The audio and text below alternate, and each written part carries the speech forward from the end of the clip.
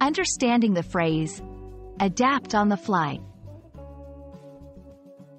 Hello everyone. In today's video, we're going to explore a fascinating English phrase, adapt on the fly. This phrase is commonly used in various contexts, and understanding it can really help in both conversational and professional English. So, let's dive in and unravel its meaning together.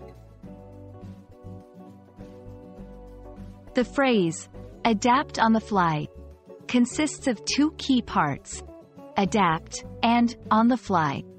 Let's look at each part separately. Adapt. This verb means to adjust or change in response to new conditions.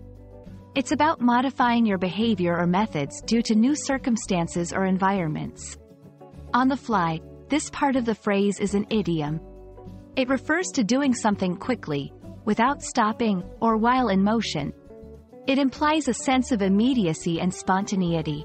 When combined, adapt on the fly means to adjust or change your approach quickly and spontaneously in response to new, unforeseen circumstances.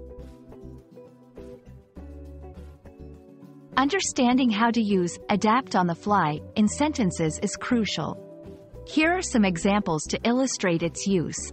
1. In business, our team had to adapt on the fly during the product launch as unexpected technical issues arose. 2. In everyday life, when the weather suddenly changed, we had to adapt our plans on the fly and move the picnic indoors.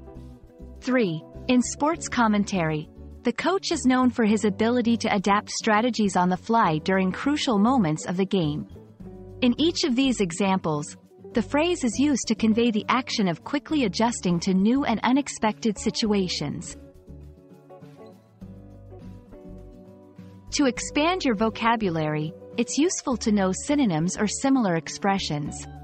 Some of these include, think on one's feet, to react quickly and effectively without prior planning. Roll with the punches, to adjust to difficult situations as they happen. Fly by the seat of one's pants, to do something by instinct without a formal plan or preparation. And that wraps up our exploration of the phrase, adapt on the fly. Now that you understand what it means and how to use it, you can confidently include it in your English conversations or writings. Remember, Language is all about expressing ideas clearly and effectively, and phrases like this one add color and precision to your communication. Hope you found this video helpful, and happy learning!